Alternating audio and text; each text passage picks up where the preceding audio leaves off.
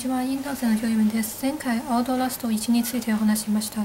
今回はその続きで、ソフトラスト、あ、アウトラスト2についてご紹介したいと思います。第2部のタイトルは、ウィスブローバー、口笛を吹く人という意味です。第1部と同じ、マウントマシブ精神病院を舞台にして、マーコフコーポレーションのソフトウェアエンジニアであるウェイロン・パークはマウントマシブ精神病院内でおとましいで出来事が起きていたことを知り外部の告発しようとした試みます。行動が老犬したパークが非現代として囚われられそうになっていたその頃院内で行われていたモーフォージェニックエンジン事件でブリーホープという感謝が暴走し大惨事が起きようとしていたという内容です。前作と比べるといくつつながりがあります。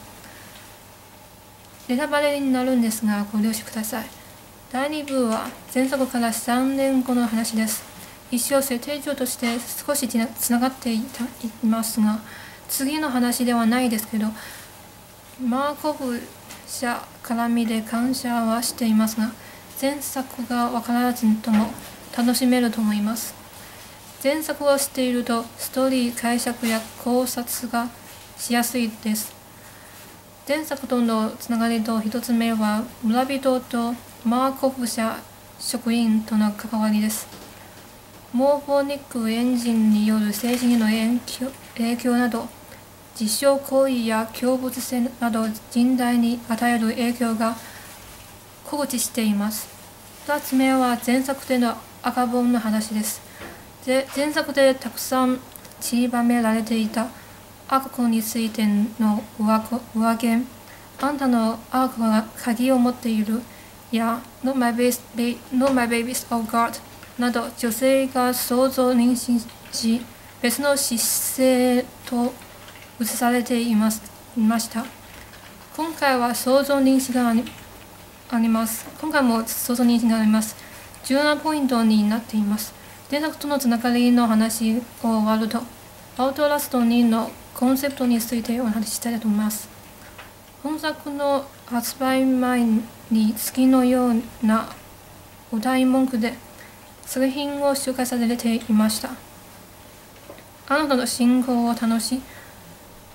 狂気が薄く渦巻き体現ができます。人の心の闇と秘密にねじ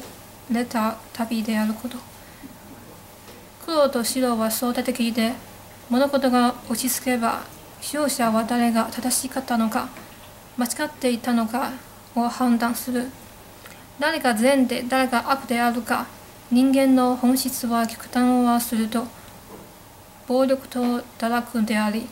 神係とこの先にある楽園の約束によって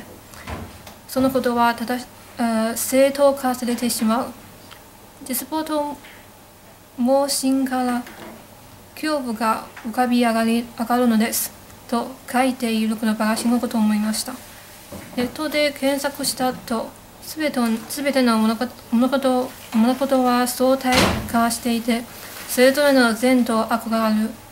境界線はもろく簡単に見失い一線を越えてしましまうということ。ここで言う悪人も状況的に言えば真が言えば武力も正当化されてしまうのですという解釈があります。以上はアウトラスト2に関して身近な紹介です。興味があった方はお気軽にお問い合わせください。